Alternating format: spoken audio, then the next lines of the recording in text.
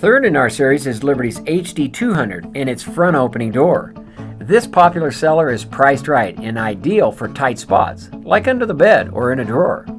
New Easy Reach angle and auto on light allows for quick access and better visibility.